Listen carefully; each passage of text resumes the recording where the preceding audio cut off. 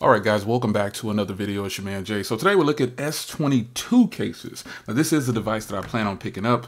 For now, I've got my two S22 Ultras on order, but I'm considering buying the S22 because of the size alone. This is going to be a good size for a device. I like small compact devices. For now, though, I have the pleasure of showing you more cases from Encased for the S22 this time. I'm going to go down the line here. I'm going to crack them open and I'm going to try them on one by one. So obviously this is the Rebel series.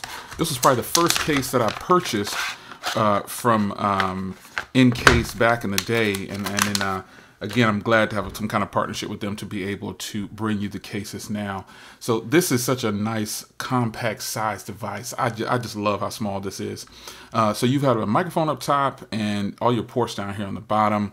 Your camera cut out should be nice. You got that pattern on the inside and this is a rugged style device. A little bit of give here just to get the device on and off and that should be pretty much it. A little bit on the bottom too. Uh, but this is the purple version and they do have a uh, black version as well. So I'll just put on the purple just for representation in this video, what it's going to be like for you, just so you can see how it's going to look. And this absolutely looks stunning as I thought it would be. Um, check out the S22 Ultra video as well. I've, I've done that one too. So here is the lip protection that you know you get with these cases. Really nice, camera deeply recessed now, kind of flattened off a little bit on that side based on how this camera module is.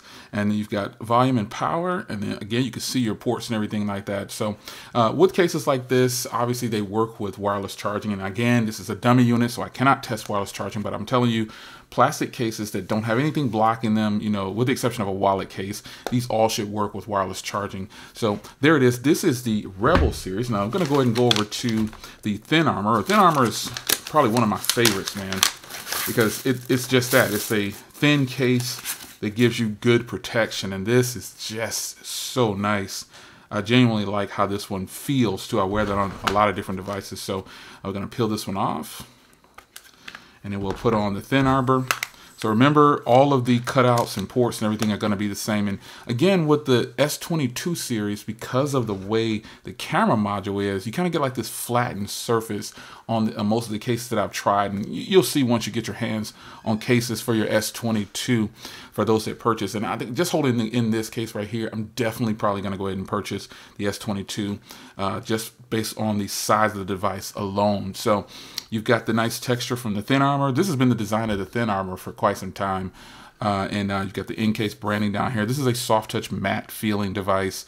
Uh, and then you've got your obviously your ports are all the same and uh, you do have lip protection with this device it runs all the way around since this screen is this case since the screen is flat you know it's gonna be up just a little bit so the last case that I have here is probably one of the hardest cases I've ever tried to take off uh, the Falcon series now and I don't know if they cut corners on it but it was very difficult for the Ultra I mean, you have to really work your fingers around it to get it out of there.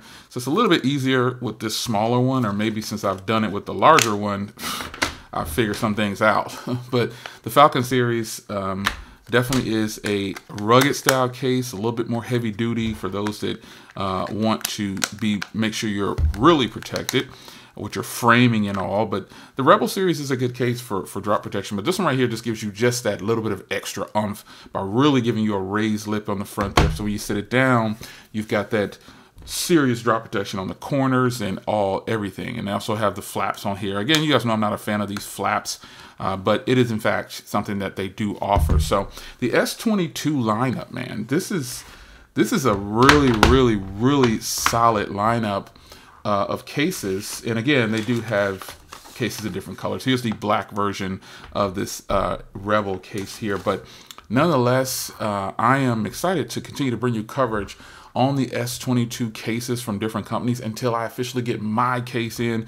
Happy that I got some dummy units in uh, from another company to really save me on some of the time here getting this out. But here they are from Encased. I'll leave a link to these down below and I'll see you in the next video. Take care.